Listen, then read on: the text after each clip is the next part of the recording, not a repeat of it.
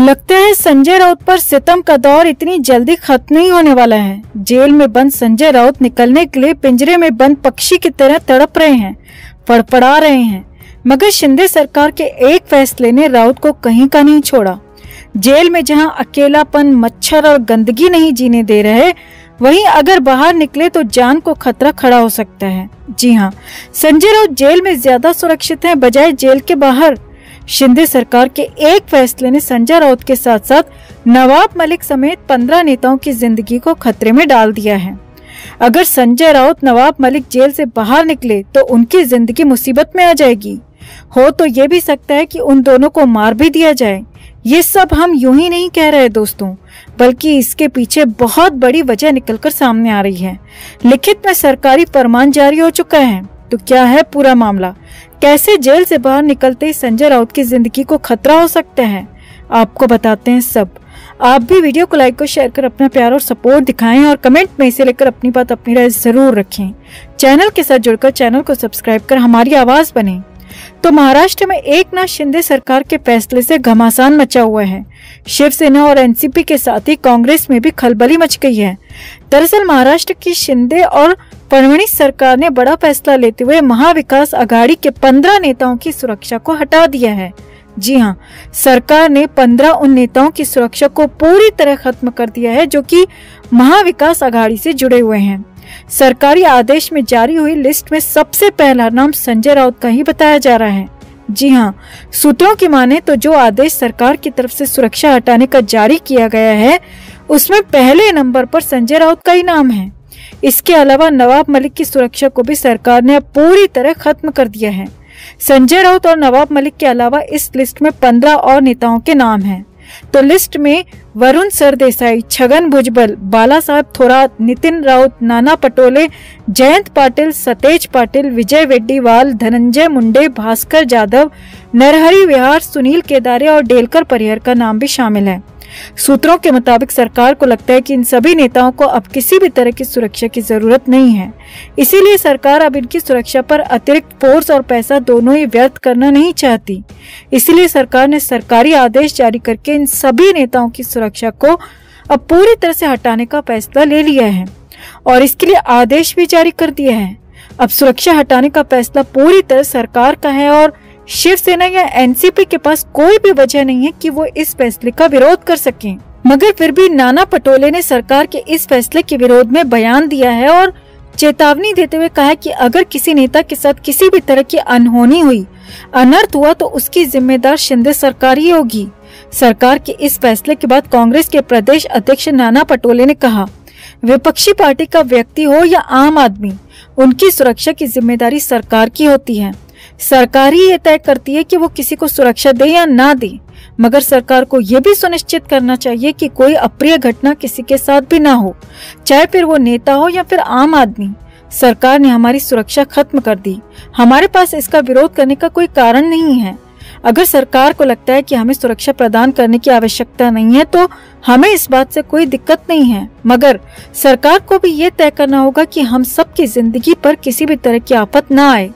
नाना पटोले ने आगे कहा, अब अतीत में बड़े बड़े राजनेताओं के साथ क्या कुछ हुआ, वो सब जानते हैं। राजीव गांधी और इंदिरा गांधी को किस तरह मार दिया गया, ये सबके सामने है। भगवान चाहे तो ऐसा किसी के साथ भी ना हो, मगर किसी के साथ भी किसी भी तरह का अनर्थ हुआ तो हम इसके लिए पूरी तरह से शिंदे सरकार को ही दोषी ठहराएँगे।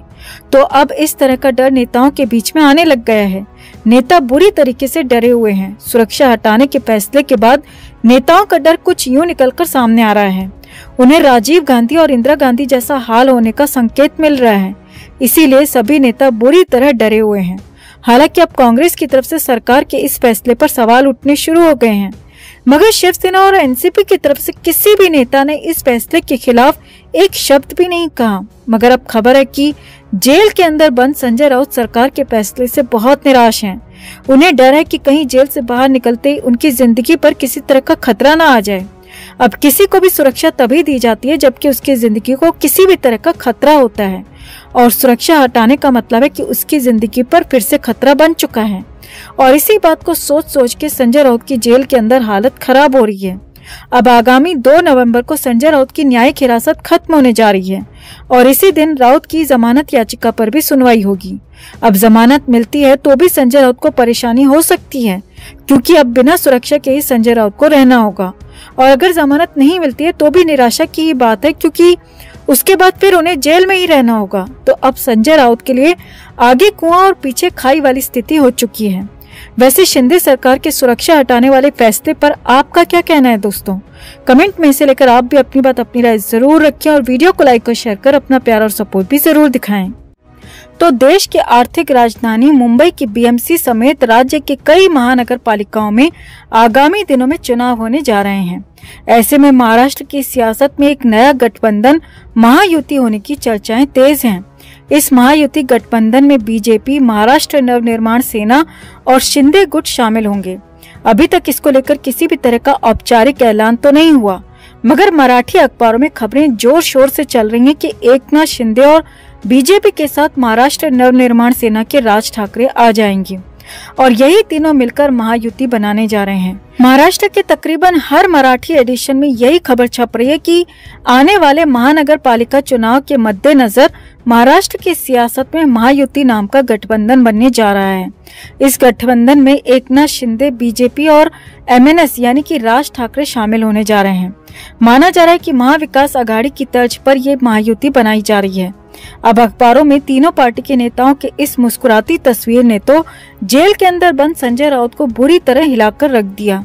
दरअसल कोर्ट के आदेश के मुताबिक संजय राउत को जेल में अखबार पढ़ने की छूट है। इसीलिए राउत को बाहर की हर अपडेट पता होती है। अब सूत्रों की माने तो 26 अक्टूबर को जैसे ही राउत अपना अखबार पढ़ रहे थे तो वो अचानक पसीना पसीना हो गए और जेल में चिल्लाने लगे, जिसके बाद आसपास के सेल के कैदियों के बताने पर जेल का स्टाफ राउत के पास पहुँचा और पूछा कि क्या हुआ, क्यों चिल्ला रहे हो? मगर राउत ने यहाँ पर कुछ भी कहने या बताने से इनकार कर दिया।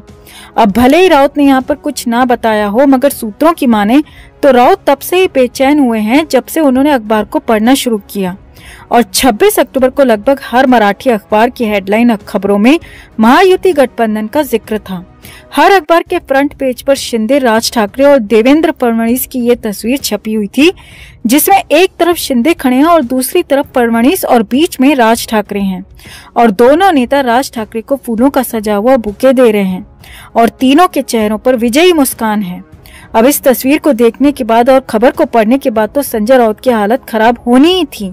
इस तस्वीर से साफ़ दिख रहा है कि राज ठाकरे भी अब शिंदे और बीजेपी खेमे में जा रहे हैं और आने वाले सभी चुनाव ये तीनों पार्टी एक साथ मिलकर लड़ेंगी। ये तस्वीर इस बात का साफ़ संकेत दे रही है। अब संजय राउत के लिए वाकई में ये तस्वीर बेचैनी भरी है क्योंकि अगर संजय राउत अब भी उद्धव ठाकरे ग्रुप के साथ हैं तो इस तस्वीर को देखने के बाद उन्हें समझ में आ चुका होगा कि अब मुंबई और महाराष्ट्र की सियासत उनके हाथों में कभी नहीं आने वाली। वहीं खबरें ये भी हैं कि संजय राउत जेल से वापसी की उम्मीद राज ठाकरे से लगाकर बैठे थे।